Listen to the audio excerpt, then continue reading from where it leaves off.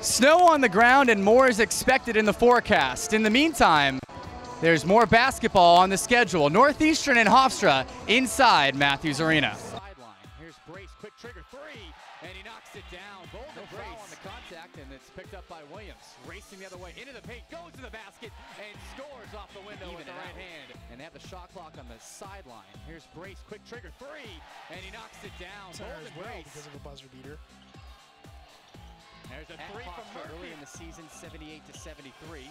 Here's a three from Pemberton, and he knocks it down. He's Eli been hot lately, but so far they're doing everything they have to do to hold him under 20 as he cans Either the free throw. Right.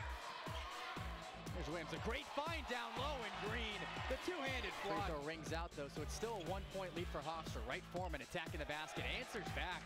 Beautiful left. Stripes. Here's Williams again, goes to the basket. Again is fouled. This time can't get He's up the there shot forever.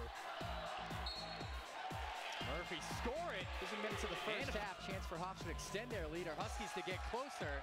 That won't help Come on, and he Northeastern. struggled, but so far so good on the dunk attempts. Murphy for three. And has something to to- Murphy. Around the corner. Here's Murphy. A three. Good.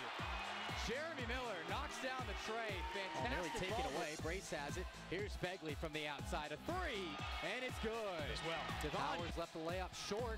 Huskies looking to run again. Williams to the basket. He scores. Came on Thursday against College of Charleston. 11 threes the previous weekend between the two Fires it into games.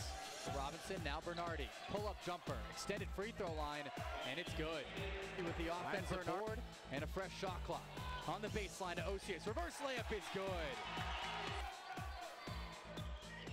Bernardi wide open for three from the wing, and he knocks it down. Make Back to Begley. He'll fire from the left wing and score. Devon Begley from the outside cans the.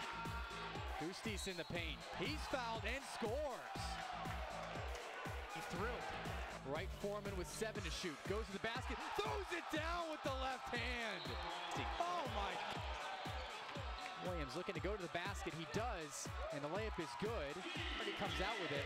And he'll just dribble it out. So Hofstra closes the game strong.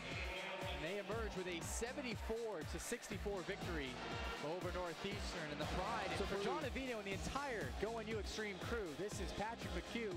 The final score from Matthews Arena, Hofstra Pride 74 and Northeastern 64. Good night, everybody.